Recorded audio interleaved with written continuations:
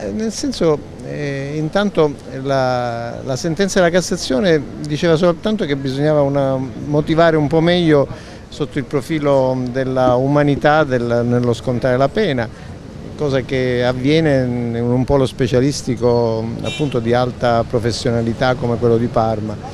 E poi c'è una legge, io sono per l'applicazione della legge in tutti, in tutti i momenti e noi abbiamo una legge che, eh, secondo la quale i collaboratori eh, possono eh, avere tolto il 41 bis, quindi se Rina vuole alleggerire il 41 bis può collaborare magari incominciando a fare i nomi delle persone importanti prima delle stragi che lo hanno contattato.